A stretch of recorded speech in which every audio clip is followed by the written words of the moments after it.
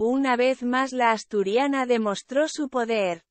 No es un secreto para nadie que la reina Leticia siempre ha querido sobresalir y eso se debe a su carácter controlar que tiene sobre sus seres queridos. En esta nota reviviremos el día en que la consorte le dio al rey Felipe en su punto débil.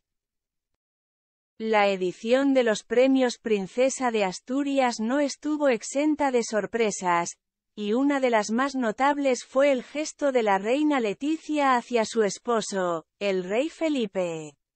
Según reveló el periodista Jaime Peñafiel, la ausencia del emérito Juan Carlos y de las infantas Elena y Cristina en el evento fue una decisión directa de la consorte, al considerar que la presencia de ellos dañaba a la institución, afirmó Peñafiel. Pero el asunto no quedó allí.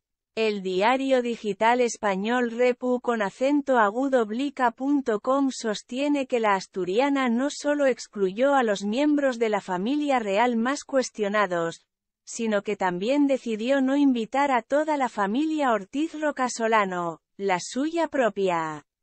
La razón, aparentemente, para generar malestar en las infantas Elena y Cristina, quienes lo vieron como una provocación en su contra.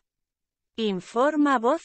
Estas revelaciones ponen de manifiesto el creciente poder e influencia que la reina Leticia ejerce dentro de la familia real española. Algunos expertos sostienen que su carácter decidido y su habilidad política le han permitido ganarse un lugar preponderante en la toma de decisiones.